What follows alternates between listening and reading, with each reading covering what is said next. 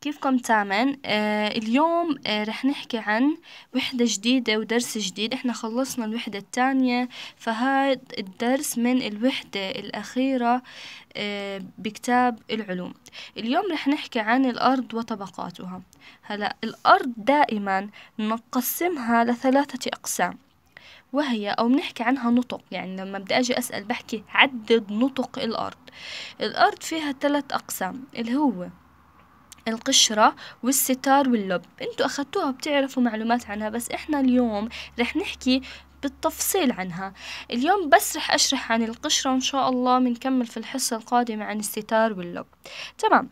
هلأ طلعوا عندكم هم حاطين أصلا صورة لنطق الأرض. هيها تحتوي على قشرة تحتوي على ستار وتحتوي أيضا على إيش؟ لب. ثلاث نطق رئيسية للأرض قشرة ستار لب. هلأ دائما القشرة آه، بتنقسم لقسمين. بنحكي عنها قشرة قارية وقشرة محيطية. القشرة القارية هي اللي بتكون بالقارات يعني على الأرض. أما القشرة المحيطية هاي بتكون تحت المحيط. بتكون تحت المحيط طبعا.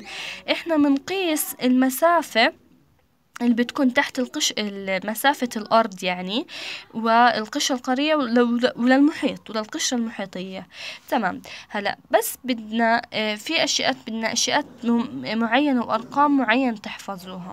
تمام. هلا قشرة القشرة القارية اللي هي المسؤولة عنها هاي تبعت القارات وهاي تبعت المحيطات. لو أنزل بالأرض خمسة وثلاثين كيلو متر إحنا هيك بنكون قسنا مسافة أو مساحة القشرة القشرة.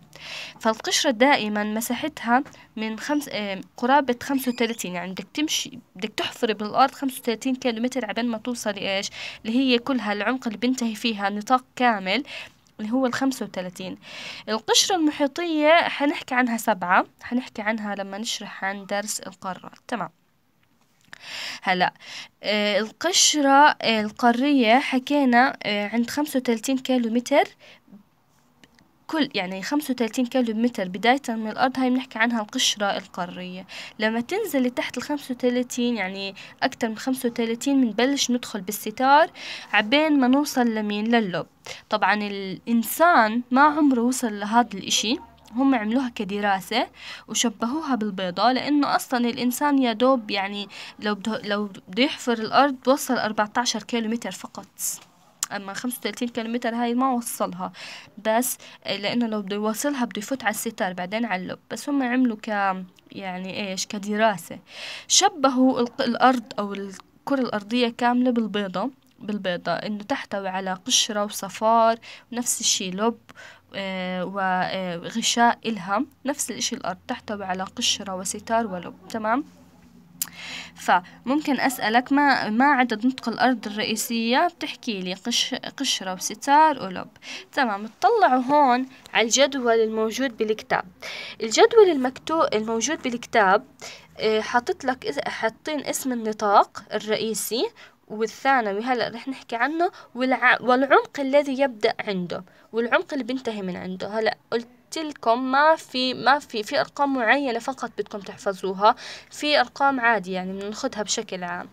تمام. هلا القشرة دائما تقسم لقسمين. قشرة قارية هاي إلها خاص بالقارات اللي هي الأرض والقشرة المحيطية هاي بتكون تحت المحيط. يعني المحيط تحته بتبلش القشرة المحيطية. العمق اللي بتبلش منه هي سطح الأرض. هلأ بنبلش من سطح الأرض لداخل سطح الأرض قرابة خمسة وثلاثين كيلو متر هاي كلها بنحكي عنها قشرة القشرة سواء كانت قارية أو محيطية. سمك النطاق سبعة وخمسة وثلاثين. سبعة القشرة المحيطية يعني تحت المحيط. إذا مشينا سبعة كيلو متر تحت الأرض تحت المحيط بنص هاي بتكون كاملة القشرة المحيطية تكون. أما الخمسة وثلاثين قشرة لمين؟ القارية. تاني إيش الستار؟ الستار بينقسم لقسمين ستار علوي وستار سفلي. الستار العلوي ببلش من خمسة وثلاثين هلأ من من صفر يعني من سطح الأرض لخمسة وثلاثين هاي قشرة. هسا إذا دخلنا لبعد هيك بنبلش ندخل بالستار العلوي. خمسة وثلاثين لستمية وستين يعني ست ستة وثلاثين سبعة وثلاثين عبال ما نوصل ستمية وستين هاي كلها مسافة أو العمق تبع مين؟ الستار العلوي. هلأ الستار السفلي ببلش من ستمية وستين لبعد ستمية وستين لعبين ما نوصل وتمنمية وتسعين. هدول مين؟ ببلش الستار السفلي. طبعا هون السمك النطاق يعني من ستمية وستين لميتين إلى ألفين من خمسة وتلاتين لستمية وستين. تمام. هسا بعد وتمنمية وتسعين بنبلش ندخل بإيش؟ باللب. لب في عنا لب خارجي ولب داخلي. طبعا اللب درجة حرارته كتير عالية. يعني نار.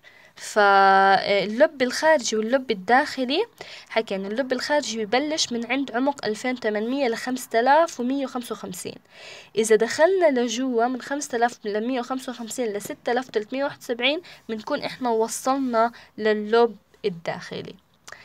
أنا قلت لكم في بعض الأرقام نحكي عنها آه، خلال الدروس المطلوبة منكم. في أرقام ما حتكون مطلوبة منكم بس أهم إشي لهلأ نعرف ثلاث نطاق للأرض القشرة والستار واللب.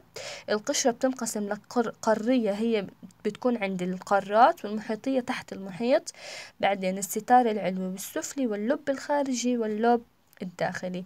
طبعا من وين إحنا جبنا هدول؟ كلهم من الرسم الموجودة عندكم بالكتاب. أول إشي رح نحكي عنها القشرة. هلا الأشياء الرئيسية المطلوبة منك القشرة. القشرة ممكن هون أجيب ما خصائص القشرة. بدنا نعرف أول إشي إنها هي طبقة رقيقة هشة جدا مكونة لسطح الأرض. يعني سطح الأرض هاي بنعتبرها طبقة رقيقة جدا بنسميها القشرة. طبعا وهي الجزء الأبرد من كوكبنا يعني بنعتبرها باردة. ليش؟ لأنه حكينا كل ما دخلنا يعني كل ما دخلنا على الستار كل ما دخلنا على اللوب شو بتصير بدرجة الحرارة؟ بتكون كتير عالية. فتعتبر القشرة الخ الخارجية إنه إيش؟ درجة حرارتها باردة تعتبر. إذا خصائصها هي طبقة رقيقة هشة وهي الجزء الأبرد هاي تنين من الكوكب تبعنا وهي متفاوتة في السمك. كيف يعني متفاوتة في السمك؟ مش حكينا هي قشرتين. القشرة الأولى تبعت القارات اللي بتكون تحت القارات تحت الأرض تبعت الدول يعني وهي نحو خمسة وثلاثين كيلومتر. أما تحت المحيطات يبلغ حوالي سبعة كيلومتر بدنا نميزهم تمام؟ بدنا نميزهم. خمسة وثلاثين. إذا تحت القارات مشينا خمسة وثلاثين كيلومتر في الأرض هاي كلها قشرة قارية. أما سبعة تحت المحيط هاي بنحكي عنها القشرة المحيطية. هلأ القشرة القارية بدنا نعرف تتكون معظمها من صخور الجرانيت ذات الكثافة المنخفضة وتمثل الجزء الخارجي للأرض. والقشرة المحيطية تتكون من صخور البازلت وتبلغ كثافتها 3 جرام. هدول مطلوب منكم تحفظوهم.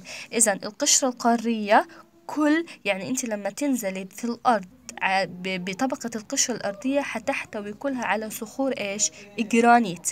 وكثافتها 2.7 هاي بتمثل الجزء الخارجي. أما القشرة المحيطية تتكون من صخور البازلت تتكون من صخور البازلت وتبلغ كثافتها 3 جرام لكل سنتيمتر مكعب. هاي الأشياءات المطلوب منك تحفظيها بهذا الدرس عن القشرة إن شاء الله المرة الجاي رح نكمل نحكي عن الستار وعن اللب.